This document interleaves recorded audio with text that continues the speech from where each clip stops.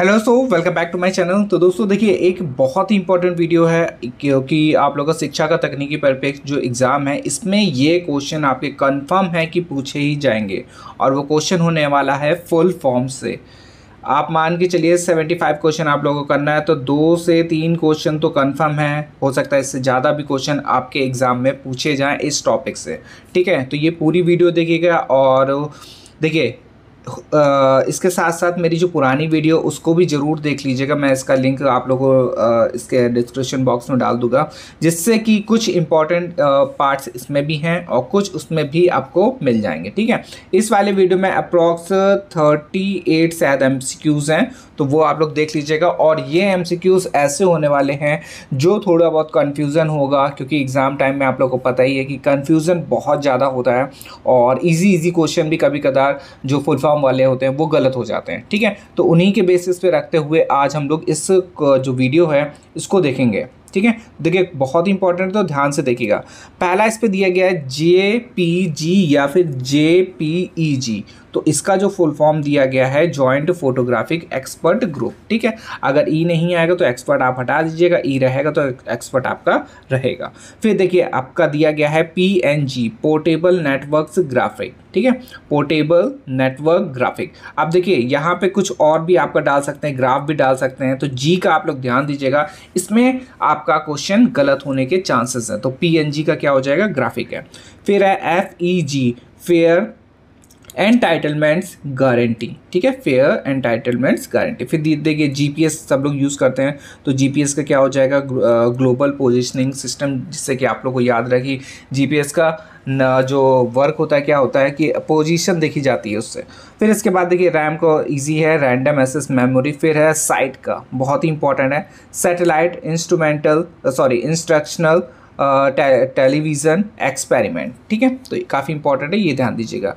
अब देखिए, एक वर्ड है हमारा पी एम ई विद्या। तो पीएम से देखिए प्राइम मिनिस्टर हो जाएगा बट इसके अलावा जो इसकी डिटेल है, ये आप लोग एक बार देख लीजिएगा कि कब लॉन्च हुआ था, और उससे कुछ इंपॉर्टेंट जो भी पार्ट्स आपको अगर लगे बट कुल मिला के कि इससे आप टॉपिक थोड़ा बहुत एक बार देख लीजिएगा एग्ज़ाम देने से पहले।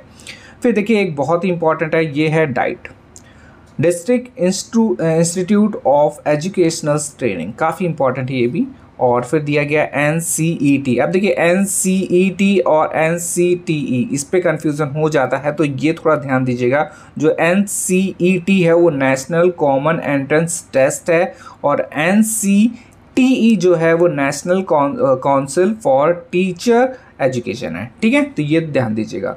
फिर देखिए एन टी ए का ईजी है नेशनल टेस्टिंग एजेंसी हो जाएगा। फिर इसके बाद है M O E M O small है और फिर ई है, ठीक है? तो मिनिस्ट्री ऑफ़ एजुकेशन हो जाएगा। फिर दिया गया P T I press trust of India हो जाएगा।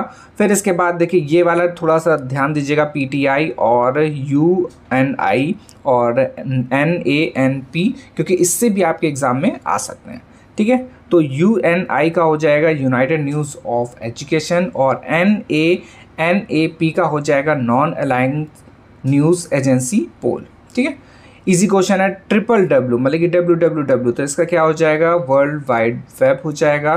फिर इसके बाद है सी पी यू काफ़ी बार काफ़ी मतलब कि पहले से ही आप लोग देख रहे हैं ये वाला question. C P U central processing unit अब देखिए एक ये वाला क्वेश्चन काफ़ी इंपॉर्टेंट है INSAT Indian national satellite system काफ़ी इंपॉर्टेंट है, हो सकता है एग्ज़ाम में पूछा जाए। फिर इसके बाद दिया गया इसरो और इसरो का फुल फॉर्म हो जाएगा इंडियन स्पेस रिसर्च ऑर्गेनाइजेशन फिर दिया गया है C A I computer assistant instruction ठीक है? फिर इसके बाद दिया गया है आई ए पी एल इसका जो फुल फॉर्म है वो क्या है? International academy of professional learning और फिर इसके बाद आ जाएगा, ये भी काफ़ी इंपॉर्टेंट है छोटे छोटे हैं बट काफ़ी इंपॉर्टेंट है ये।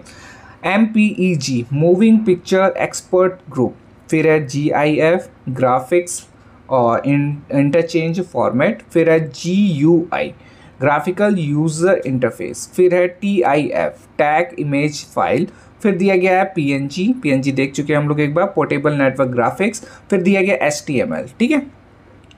फिर है हाइपर हाइपरटेक्स मार्कअप लैंग्वेज जो एच टी एम एल का फुल फॉर्म में क्या हो जाएगा? हाइपर हाइपरटेक्स मार्कअप लैंग्वेज फिर दिया गया है इस पर C L I command line interface फिर है M M S multimedia messaging service फिर है ए आई डबल एफ़ मतलब ए आई एफ़ एफ़ है ऑडियो इंटरचेल चेंज फ़ाइल फॉर्मेट फिर है M I D I musical instrument digital interface फिर है A V I audio, video interleave फिर दिया गया वी आर एम एल और वर्चुअल रियलिटी मॉडलिंग लैंग्वेज फिर दिया गया है C B T computer based test अब इस पर देखिए दे, दे सकते हैं टेस्ट भी दे सकते हैं ट्रेनिंग भी दे सकते हैं ठीक है? तो अगर टेस्ट दोनों में से अगर जैसे कि टेस्ट नहीं दिया है तो ट्रेनिंग उस पर दे सकते हैं। आपके जो क्वेश्चन दिए गए थे तो उस पर ट्रेनिंग था ठीक है? तो उस पर ट्रेनिंग अगर आए तो ट्रेनिंग भी सही है। अगर ट्रेनिंग नहीं होता है टेस्ट है तो टेस्ट भी सही है ठीक है? अगर दोनों है तो दोनों में आप लोग क्या लगाएँगे? टेस्ट लगाएँगे।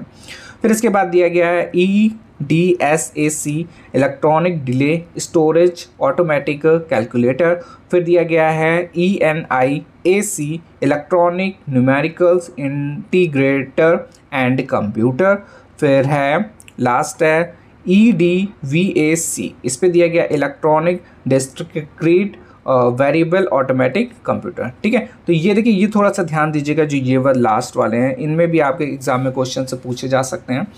तो ये काफ़ी इंपॉर्टेंट है, एक बार फिर से रिवाइज कर लीजिएगा और एग्ज़ाम देने से पहले एक बार थोड़ा सा मतलब ये ना जल्दी से एक बार देख लीजिएगा, जिससे कि आपको वर्ड्स याद रहे। ठीक है, क्योंकि यहाँ पे कुछ भी चेंज कर सकते हैं ऑटोमेटिक की जगह कुछ भी ले आए यहाँ पे तो वो थोड़ा सा थोड़ा सा याद रखिएगा। ठीक है, चलिए।